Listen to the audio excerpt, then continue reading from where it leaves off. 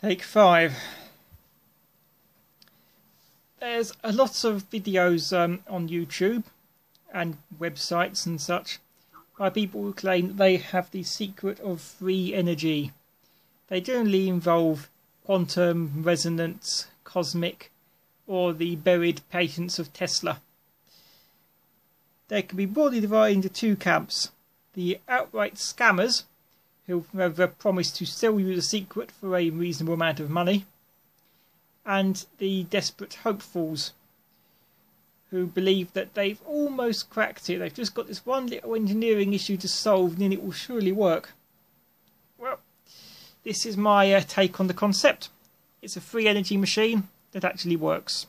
It's not really free energy, but it's certainly an unconventional power supply.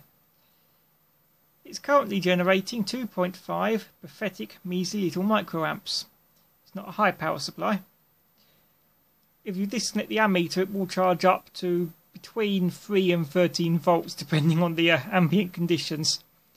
So I suppose you could maybe charge a capacitor off it, wake a microcontroller up every minute, take some readings. 2.5 microamps. Time getting a microcontroller to even sleep on that. Oh, a bigger antenna. One nice feature of design is you can connect as many antennas as you want up to it, and each one will sum its output power. So, you need more power, get more wire. It's essentially a um, RF harvester similar to the old crystal radios. It's got a ground connection to the radiator, and it's got an antenna, and a lot more antenna, and more antenna and even more antenna. If this was laid out outside, it might do a bit better. If I had a nearby AM radio transmitter. I'm not really using AM radio at the moment because I've found the most powerful signal that this thing is currently getting most of its power from is this. It's a somewhat wobbly 40.7 to 40.8 kilohertz radio signal. It is in fact my light bulb.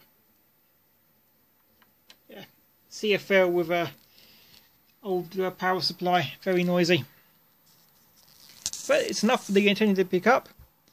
Gets fed into the magic box here, and out pops my 2.5 to 2.6 microamps of DC.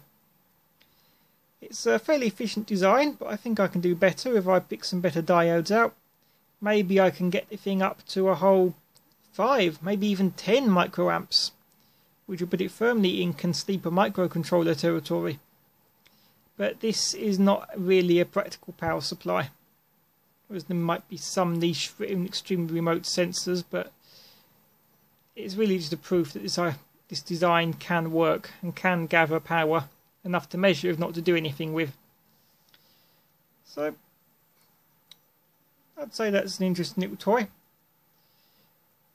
I will put the schematics up once I'm done fine tuning it. It's not too fussy about component values, I just grab whatever was lying around.